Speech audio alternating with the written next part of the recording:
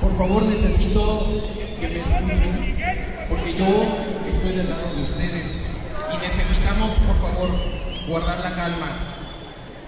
El artista Luis Miguel simple y sencillamente se metió a su cuarto, pidió botellas de alcohol y se está emborrachando en su cuarto. Esa es la. Yo no les voy a decir más. No pueden comprobar, están haciendo la conversión sur en una habitación metido, emborrachándose y drogándose. Por eso es que no esa es. El sonido, el sonido, el sonido me lo quieren quitar, es de él. Estamos aquí tratando de hablar con ustedes con la verdad.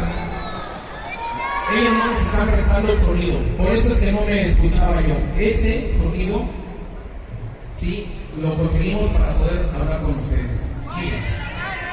No ha venido, no sabemos si va a venir, no nos ha cancelado, no ha tenido ni la decencia de cancelar mi video. Simplemente no sabemos si va a venir o no va a venir.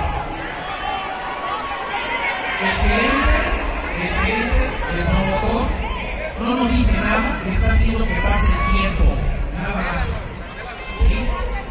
Lo que yo quiero, porque yo soy de aquí, policía de Yucatán, aquí está mi logo.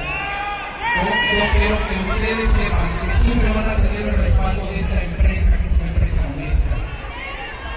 Estamos, estoy yendo al Ministerio Público a levantar una denuncia en su contra.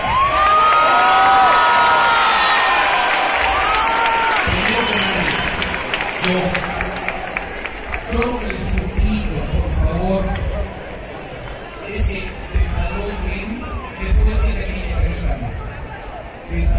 vayan desalojando en por favor, con tranquilidad.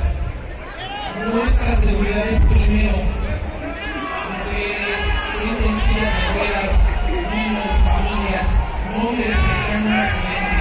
Por favor, vamos a desaltar en calma. ¿Y el Número dinero? uno, ese es el de ahorita. Número dos, la empresa que alquiló el Coliseo Yucatán, porque no es del Coliseo Yucatán este show. Nosotros somos como una sala de fiestas. El promotor alquila este lugar para traer a su show. Él cobra, él se lleva la ganancia, él cobra y él tiene que devolverle ese dinero.